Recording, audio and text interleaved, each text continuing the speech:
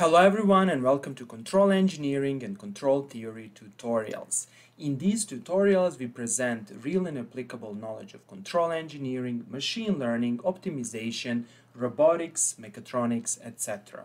In this control engineering tutorial we explain how to generate a Nyquist plot of a transfer function in Python.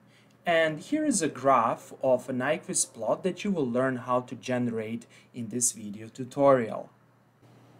Besides teaching you how to generate Nyquist plots, I will also explain how to polish the Nyquist plot graph. That is, I will explain how to set x and y limits, x and y labels, how to adjust the font size, and how to add some other nice features such as these arrows and the starting point. And finally, I will explain how to save this graph in a file that you can add to your report or to your paper.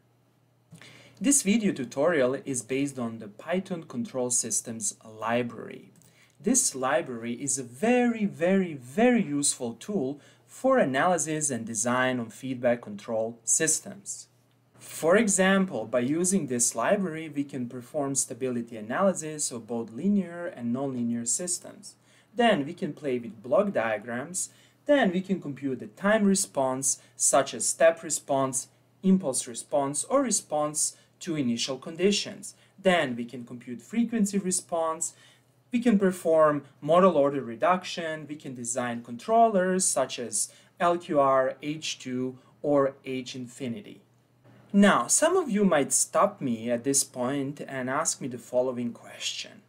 Why do we need to learn this library when we have MATLAB and all the power of MATLAB Control Systems toolbox? Well, the answer is very simple this library is completely free. On the other hand, if you want to use MATLAB or if you, for example, working for a company, you will have to pay thousands of dollars for just the basic MATLAB toolbox. Here I have to say that I'm a big fan of MATLAB and I like MATLAB very much.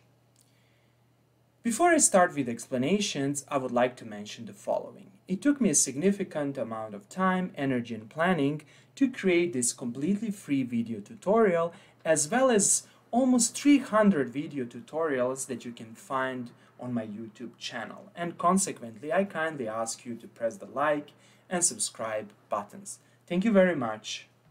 Okay, so let's start from scratch. The first step is to install the Python Control Systems library. And as you can see over here, I'm using the Anaconda Navigator and I will explain how to install this library by using Anaconda. However, if you're using some other environment or if you're just using the basic command prompt, the installation procedure is the same. I will click on Environments and I will open my base or root terminal. Then I will simply write, write pip install control and magic happens. In my case, you can see that the requirements are already satisfied. This is because I have already installed this library. However, in your case, you will probably see a progress over here and maybe after a few seconds the library will be installed. After you do that, click on Home and open your favorite Python editor from Anaconda Navigator. It's very important to open your favorite Python editor from Anaconda environment or from the original environment because you installed this library in that environment. In my case, I'm using Spyder. So if I click over here, my Spyder will open up. I have to mention that a Spyder is a very useful editor for Python. It reminds me of MATLAB since you can simply select a piece of code, you do the right click, and you can evaluate it. Before we learn how to generate the Nyquist plot in Python Control Systems toolbox, we first need to learn how to define transfer function. Let us consider the following example. Let us transfer function be defined as follows.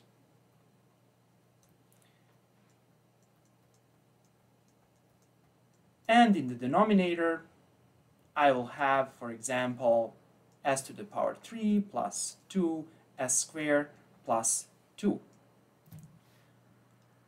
how to define this function in Python control system toolbox. Well, to do that, we first need to define two lists. The first list, called n new m, which is a shorthand for numerator, will take all the coefficients of the polynomial in the numerator. The coefficients are 1, here we have 1 times s squared, then over here we have 2, so second coefficient is 2, and the third coefficient is 5. And we always start from the coefficient that corresponds to the s to the highest power. And in our case, that's 1. Similarly, we define another list that corresponds to the coefficients of the polynomial in the denominator. Over here we have 1 times s to the power 3 and consequently over here have, we have 1. Then we have 2 times s squared. Over here we have 2. What do we have over here? Hmm, very good question.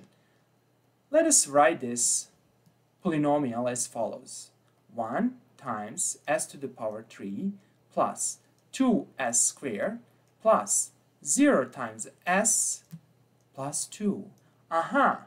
We see over here that we have 0. And finally, we have 2. Okay, let's see how to define transfer functions in Python. The first step is to import the necessary libraries. We first import the control systems toolbox library, that is, we write import control as ct, and this is the standard and recommended import command. We always import this library as ct. Of course, you can use some other notation or some other letters, however, it's not recommended. Next, we import the plotting tools, and over here we can define our transfer function. So let's go back to our example. What is our example? We have 1, 2, 5. Okay, so in the numerator, we will write 1, 2, 5. Great. Let's see what is in the denominator. In the denominator, we have 1, 2, 0, 2. Consequently, we write 1, 2, 0, 2. And by using this command, ct.tf, or better to say this function tf, and by specifying numer numerator and denominator lists, we can define our transfer function. So let's do that and let's see the result. Voila, here it is, s squared plus 2s plus 5, s squared plus 2s plus 5, and over here we have s to the power 3 plus 2s squared plus 2. Here it is. So far, so good. Since I want my Nyquist plot to have a nice shape in this video, I will not use this example. Instead, I will use another example of a transfer function. And here is the example. The example is a very simple transfer function that looks like this. W of s is equal to 1 over s squared plus 2s plus 1. And obviously, this is equal to 1 over s plus 1 squared. Let's construct this example in Python. What do we have over in the numerator? We have 1, and consequently, our numerator list will be 1. How about the denominator? Aha, uh -huh. we have 1, 2, and 1. Consequently, we write 1, comma, 2, comma, 1. Let's see the transfer function. Voila, here it is. And this is exactly what is written over here. Next, we will learn how to generate the Nyquist plot in Python. To make this video as short as possible, I simply paste the script I wrote previously. And let me explain line by line of this script. First, we need to specify the figure size. In my case, I will have a figure of 10 by 10. Next, I specify x and y limits for the x and y axis and I specify X label and Y label. Finally, I set the font size for both axes and for other numbers that will be shown on the figure. in practice, you don't know these limits before generating the Nyquist plot. So you first generate the Nyquist plot, you look at the x and y axis, and then you adjust x and y limits. We generate the Nyquist plot by using this function, Nyquist plot. We specify as the first argument our transfer function, then we specify this parameter, return contour true. This means that we will return these two variables, count and contour. Count will count number of encirclements of the point minus 1, and this is very useful for stability analysis. And the second variable is used to create the primary Nyquist curve segment.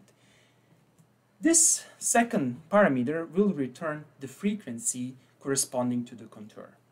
Then we specify the number of arrows, we specify the arrow size, we specify the start marker, we specify the start marker size, and we specify the line width. After we do that, we can simply save our plot. So let's see the results. Let's evaluate everything from the beginning. And voila! Here's our Nyquist diagram. Let us further explain these properties. Arrows is equal to 2. This means that we have two arrows shown over here and over here. Let's change these parameters and let's specify four arrows, for example. And let's see the result. Here it is. 1, 2, 3, 4. 1, 2, 3, 4. Okay, let's change the arrow size, for example, to 16. Let's see the result. Here it is. Arrows are larger. Start marker is this marker over here. We can change that marker. We can, for example, use X. And let's see the result. Here it is. Here is X. We can adjust the start marker size. We can, for example, specify 18 here.